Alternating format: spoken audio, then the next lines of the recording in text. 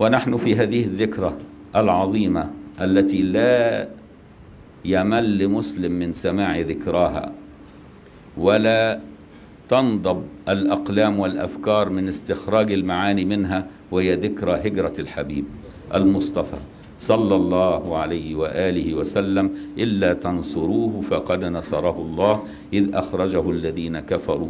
ثاني اثنين إذ هما في الغار إذ يقول لصاحبه لا تحزن إن الله معنا. فأنزل الله سكينته عليه وأيده بجنود لم تروها وجعل كلمة الذين كفروا السفلى وكلمة الله هي العليا. والله عزيز حكيم. سبحانه وتعالى.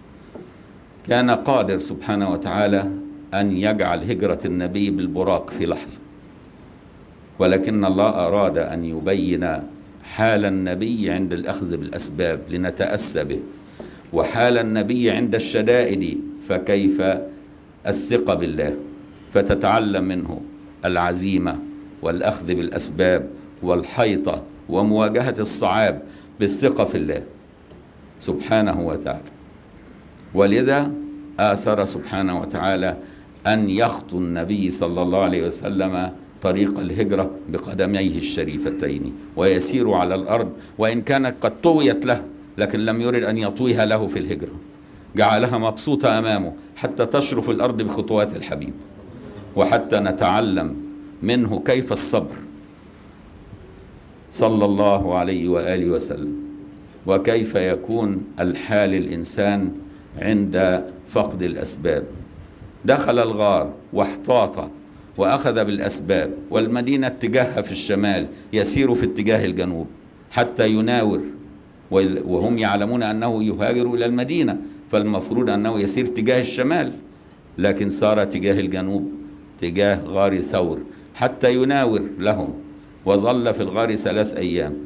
كان ممكن أن يضلل الكفار فيتجهون شمالا ويبتعدون عنه ولكن سبحان الله ألهمهم علم عجيب وهو اقتفاء الأثر من الصحارى كيف يقتفون أثر النبي؟ والنبي لا أثر له إذا صار لكن كان معه صاحبه وكان أيضا الغنم التي كان يسير ويرعى بها سيدنا عبد الله ابن سيدنا أبي بكر الصديق كان يسير في طريق الهجرة بغنمه نهارا ويعود ليلا حتى يشوش الأثر عليهم. وبالرغم هذا التشويش والاحتياط لم يستطع أحد أن يضللهم. دليل أنهم كانوا في علم الأثر من القوة بما كان. فوصلوا إلى الغار وكان ممكن أن يضللهم الله سبحانه ولكن أراد الله أن يقهرهم يوصلهم والنبي تحتهم وأمامهم. وبالرغم من ذلك لا يرون شيئا. كذلك فعل مع أبيه إبراهيم عندما ألقوه في النار كان قادر ألا يجعل النار تشتعل أصلا أو أن يطفئ النار قبل أن يصل إليها إبراهيم. ولكن جعلها نارا وجعلها لهيبا ويجلسون حولها ويعانون من لفحها. ومن شدة حرارتها ويلقون سيدنا إبراهيم فيها ويتم الإلقاء ويصل إلى النار وكان قادر أن يمنع ذلك كله بأشياء كثيرة ولكن الله قاهر فوق عباده. افعلوا ما شئتم فهو في حمايتي وأماني فتصير النار بردا وسلاما ويصير الغار لنبينا حصنا أمينا وهم على باب الغار. هذا كله ليبين لك أن الله قاهر فوق عباده. أنهم مهما فعلوا فلن يستطيعوا أن يغيروا قدر الله ولن يستطيعوا أن يمنعوا مدد الله لحبيبه المصطفى. من كان يظن أن لن ينصره الله في الدنيا والآخرة فليمدد بسبب إلى السماء ثم ليقطع فلينظر هل يذهبن كيده ما يغيظ. يعني من كان يظن منكم أيها الكفار أني لأنصر حبيبي وعبدي فاستمد واصنع سبب إلى السماء أي سلم إلى السماء. واقطع نص نص نصري له وحمايتي له النازلة من السماء قبل أن تصل إليه. وكأن الله يعرض عليهم أمر محال أن يصلوا إليه. حتى يعلموا عجزهم فلو تمالأ أهل الأرض إنسا وجنا عليه ما ضروه والله يعصمك من الناس. ثلاثة وعشرين عاما كل قبائل العرب تريد قتله. والكل يريد الإضرار به ولا يستطيعون. ولا توجد حماية معينة ولا طرق رقابة ولا كاميرات مراقبة ولا أي شيء. وهو يعيش في الصحراء مفتوحة وكان يخرج ولم يحبس نفسه ويمشي في الأسواق. والكل متربص به ولكن هيهات هيهات أن ينالوا ممن عصمه الله من الناس. والله يعصمك من الناس. حتى إذا ضاقت بك الأحوال واختبرك الله بضيق فانظر إلى أحوال نبيك كيف أنه جعل له من كل ضيق فرجا ومن كل هم مخرجا. حتى تتأسى به في الضيق وفي الفرج وفي الراحة وفي التعب وفي العافية وفي المرض. فأجرى عليه كل ذلك وهو حبيبه امتحنه بكل ذلك وهو حبيبه حتى يرحمنا في ما قدره الله علينا. فإذا قدر علينا بعض الشدائد لنظن أنه يكرهنا. فقد عمل حبيبه بأشد من ذلك. بل هو يعاملنا بالشدائد لأنه يحبنا. كما تشتد أنت على ابنك حتى يشتد عوده ويزداد خبرة ويكون لمصلحته. فالله سبحانه وتعالى يسوسنا على ما يصلحنا. ولا يعطينا ما نهوى فقد يتعلق قلبك بما فيه المضرة لك. ولو بسط الله الرزق لعباده لبغوا في الأرض ولكن ينزل بقدر ما يشاء إنه بعباده خبير بصير.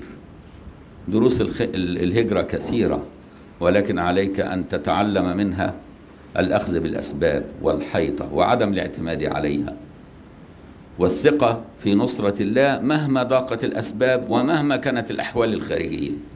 ولذا لما ارتعد سيدنا أبي بكر الصديق ووجد أقدام الكفار على باب الغار ونجحوا في الوصول إلى النبي صلى الله عليه وسلم في مكان صار بطريقة تخدع أي إنسان مهما كان لكن الله وفقهم وفق الكافر ليقهره بالتوفيق. وفقه حتى يقهره فقد يكون التوفيق للقهر. فليس كل توفيق يكون مآله السعادة. فقد وفقهم لوصول بعض الإيذاء من أيديهم إلى النبي حتى يكونوا سببا لتعذيبهم في آخر في اليوم الآخر. سبحانه وتعالى قاهر فوق عباده. فلما وفقهم ووصلوا ونظر سيدنا أبي بكر إلى هذه الحالة وقد خاف لا على نفسه فإن سيدنا أبو بكر كان خوفه على النبي أشد من خوف نفسه. هو كان لا يرى نفسه أصلا حتى أنه إذا جاع كان لا يشعر بالجوع إلا إذا جاع النبي ولا يشعر بالعطش إلا إذا عطش النبي ولا يشعر بالري إلا إذا ارتوى النبي صلى الله عليه وسلم. هذا كان حاله حتى أنه لما حكى قصته في الهجرة قال وقد كان النبي صلى الله عليه وسلم لم ينم منذ ثلاثة أيام فارتاح ونام وظللت عليه ظلا. وكانت في الأيام العادية تظلله الغمامة وفي أثناء الهجرة لا تظلله الغمامة حتى يقاسي الشمس. هكذا كان حال نبيك حتى يعلمك كيف تقاسي الشدائد. صلى الله عليه وآله حتى يكون أسوة لأمته. فقد أمرهم بالهجرة وقد ساروا على أقدامهم فيكون هو أولهم. ما دل أمته على شيء إلا كان هو إمامهم وأمامهم. صلى الله عليه وآله وسلم. فلما استراح النبي ونام. ذهب سيدنا أبي بكر الصديق وقد علم أن النبي لم يطعم طعاما ولم يشرب شرابا منذ عدة أيام. فوجد راعيا للغنم فأمره أن يأخذ منه حلبة فحلب غنمة من الغنم ووضعها ووضع عليها بعض الماء البارد حتى يبردها وكان الجو حار شديد الحرارة. فلما استيقظ النبي قال سيدنا أبي بكر الصديق فأعطيته اللبن فشرب حتى رويت. انظر التعبير.